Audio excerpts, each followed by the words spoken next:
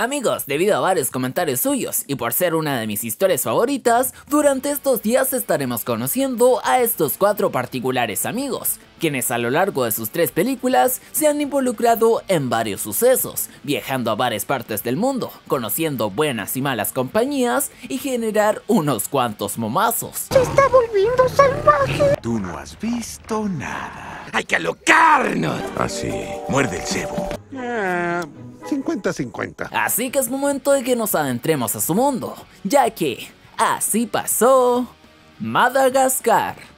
En esta historia conocemos a Martin, una cebra del zoológico de Nueva York que está soñando que es libre en la jungla, pero es interrumpido por su amigo Alex, quien siendo león es el animal más famoso del lugar. Y si ambos en el mundo salvaje son enemigos, aunque bueno aquí se llevan súper bien. ¡Rechazo la naturaleza! Oye, ustedes me suenan bastante, uh, pero, pero bueno, sigamos con la historia. Este le desea un feliz cumpleaños y hace que Martin se meta en su boca para que encuentre su regalo. Ahí Martin le revela que después de tantos años, 10 para ser más específicos, ya se ha cansado de su vida en el zoológico. Entonces Alex intenta animarlo y procede a despertar a sus demás amigos, Gloria la hipopótamo y Melma la jirafa enfermiza, ya que bueno, este adora recibir medicinas a montón y siempre dice estar enfermo. ¡Oh, pobrecito! Ya cuando el zoológico abre sus puertas también conocemos a la pareja de chimpancés, Mason y Phil. Aquí el público se amontona para ver el show de Alex, quien posa para fotos dignas de Instagram. Y de hecho voy a tomar esta foto y le voy a subir a mi página de Instagram, así que ve a darle like. ¡Ay, qué sensual que está el Alex! Es un papucho. Su cara parece tallada por los mismos ángeles. Cerca de ahí se encuentran los pingüinos que en realidad son una especie de espías que están cavando un túnel hacia la libertad, pero se equivocan y llegan al área de Martin creyendo que están en otro continente. Ahí Marty los interroga y descubre que se dirigen hacia su jungla natural, es decir, la Antártida. Más tarde cuando cierran el zoológico, vemos que los animales son tratados como reyes por los humanos. Luego los cuatro se reúnen para celebrar el cumpleaños de Martin. Ahí Martin recibe como regalo el termómetro rectal de Melman y bueno, se lo mete en la boca. ¡No mames, qué asco! Cuando llega la hora de soplar la vela y pedir el deseo, sus amigos lo convencen para que lo revele. Así Martin menciona que desea ir a la jungla. Porque los viernes de la jungla serán a todo ojete. Eh, no, no, la jungla de verdad. Eh, esa, esa, esa, sí. Ahí sus amigos todos sorprendidos le dejan en claro que eso es una locura y que allá no encontrará las comodidades del zoológico y por ello no están interesados y que si quiere más espacio puede ir al zoológico de Miami. Esto entristece a Martin, ya que bueno, eh, si lo pensamos bien...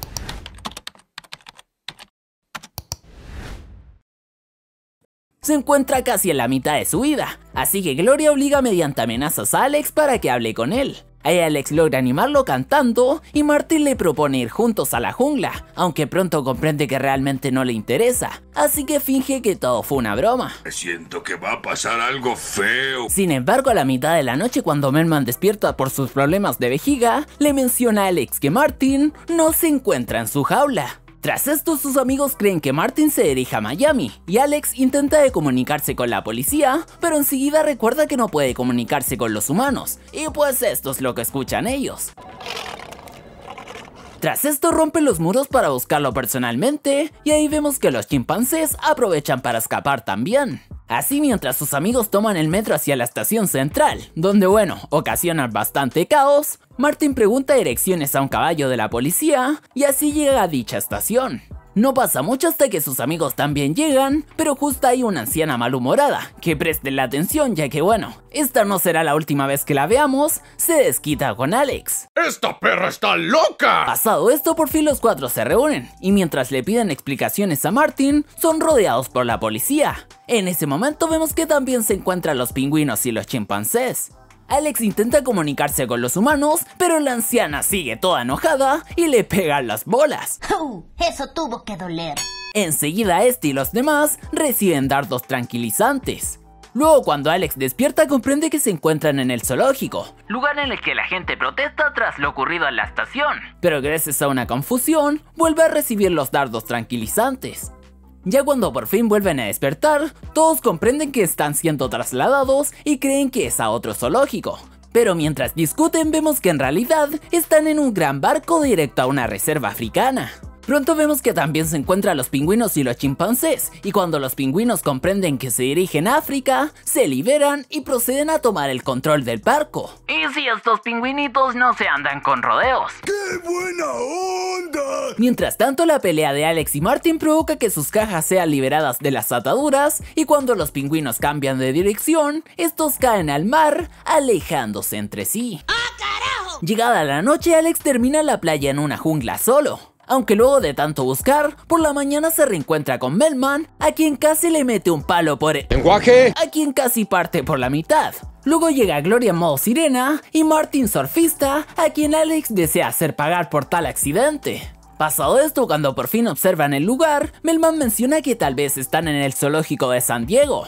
Ahí Alex le echa la culpa a Martin porque ya no podrá ser el favorito del nuevo zoológico. ¡Qué mala suerte! Hay destinos peores que la muerte. La discusión se interrumpe pues comienzan a escuchar música, y como creen que se trata de humanos, siguen el sonido. Y en el camino, Alex es golpeado por la naturaleza más de una vez, así que se retrasa. Y sí, parece que esto de vivir en la naturaleza a Alex no le está gustando mucho. ¿Por qué me persigue la desgracia? Pronto llegan hasta el origen y comprenden que en realidad se trata de lemures fiesteros. Aquí conocemos al rey Julien, quien está disfrutando de su fiesta, cuando de repente son atacados por las fosas.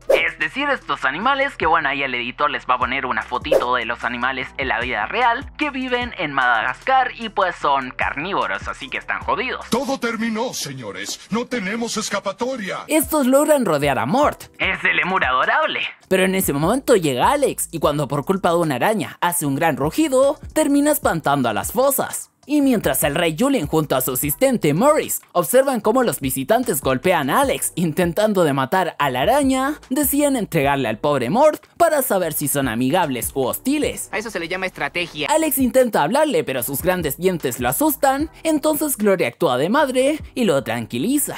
Al ver esto, el rey Julien ordena a su pueblo mostrarse y se presentan ante sus visitantes agradeciéndoles por ahuyentar a las fosas. Además le revelan que las únicas personas que hay en el lugar están muertas y que en realidad están en la jungla. ¡Wow! No puedo creerlo. No me lo esperaba. Al escuchar esto, Alex intenta escapar de la isla nadando, pero es detenido por Gloria, que le pide un poco de paciencia, pues cree que pronto serán rescatados por las personas. Más tarde vemos a Melman ya resignado cavando su propia tumba, pero Martin se muestra bastante feliz de estar allí. Todo enojado, Alex decide trazar una línea para que Martin no cruce como castigo. Y bueno, este menciona que el lado de Martin son aquellos que se quieren quedar, y el lado de ellos son los que se quieren volver a Nueva York. Luego Alex y los demás construyen una estatua para llamar la atención de los barcos, aunque por culpa de la torpeza de Melman, esta se incendia. Entonces Alex enfurecido le dice que ya no lo quiere y que se marche con Martin. Mamón, ¿eh? Mamón como siempre, me cae soberbia. Por otro lado, los lemures realizan una reunión para hablar sobre los visitantes. Ahí el rey Julian decía que deben hacerse amigos de estos para que Alex los proteja de las fosas. Sin embargo, Maurice menciona que tal vez Alex es más peligroso que las fosas, aunque es ignorado. Por otro lado, Martin invita a Alex a su lado de la playa, y cuando Leon comprende que se siente muy solo, decide aceptar. Así se disculpa con Martin y se reúne con sus amigos en la tremenda casa que este construyó, donde se alimentan con agua salada y algas. ¡Qué buen servicio! Pasado esto vemos que Alex comienza a soñar con filetes, aunque al despertar comprende que se estaba saboreando a Martin. Aunque este finge que es una confusión y se vuelve a dormir, y en ese momento vemos que los lemures los estaban observando de cerca. Por otro lado, los pingüinos llegan a la Antártida Y pronto comprenden que el clima no es para nada amigable. Al día siguiente los animales despiertan rodeados por lemures. Ahí el rey Julian les muestra los campos de Madagascar. Entonces Martin y Alex comienzan a correr por diversión. Y cuando Alex se cansa por no haber comido nada hace mucho, Martin lo motiva para que continúe, y gracias a su trasero, el cual se le hace bastante apetitoso a Alex, lo hace tan bien que Alex se llena de energía, y juntos participan de su fiesta de bienvenida. ¿No tienen el presentimiento de que algo muy malo va a pasar? A pedido de Martin, Alex vuelve a realizar su show, pero esta vez ruge como nunca, y sin darse cuenta, espanta fosas espías. Sin embargo, Alex está tan hambriento que comienza a imaginar que todos son comida, y de repente vemos que muerta Martin, pero de inmediato recupera la conciencia. Al ver esto, Morris decide revelarle a los animales que Alex es un carnívoro y que la naturaleza se debería comer a sus amigos. Entonces el rey Julian decide desterrar a Alex por seguridad. En ese momento Alex vuelve a perder el control y está a punto de comerse a Martin, pero un coco de Maurice le regresa la conciencia. Ahí Alex comprende que es peligroso y decide alejarse de sus amigos, y luego de sufrir en el camino con golpes y caídas, termina en el territorio de las fosas. ¡Yo por ahí no paso! Por su parte sus amigos observan de cerca la crueldad de la naturaleza. Más tarde estos descubren que su barco está llegando a la isla, pero una vez allí, comprenden que se trata de los pingüinos. Y si estos mejor decidieron venirse a un ambiente más tropical. Chazo la naturaleza. Ah, ellos son los pingüinos, por eso se me hacían tan conocidos. En ese momento vemos que Martin se ha marchado para ir a buscar a Alex, pues cree que se trata de un rescate, y luego de adentrarse en el territorio de las fosas, pronto le encuentra.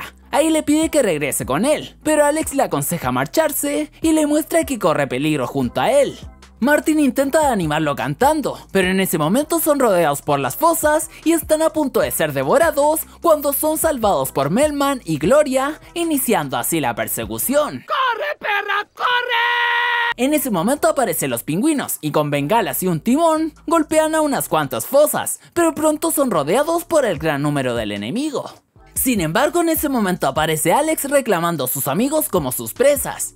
Aunque tranquilos que se está fingiendo y procede a ahuyentar a las fosas, dejándoles en claro que ese es su territorio. Bien dicho Arturo, claro que si tú demuestras quién manda coño. Más tarde vemos que los pingüinos le preparan sushi a Alex para apaciguar su hambre, aunque por las dudas, el rey Julien le ofrece amor. Esto ya no es divertido, es triste. A continuación, cuando los animales deciden que regresan a Nueva York, los pingüinos nos revelan que en realidad el barco no tiene gasolina, pero prefieren dejar que la ilusión de estos continúe un rato más. Sonrían y saluden, muchachos. Sonrían y saluden. Y bueno amigos, si es que quieren saber qué va a pasar luego de esto, no se olviden de suscribirse activando la campanita para así ser los primeros que vean Madagascar en África. Así que nada más, dejen su like, coméntenme qué otra saga les gustaría ver resumida en el canal y sin nada más que decir, muchas gracias por ver hasta el final, hasta pronto, bye.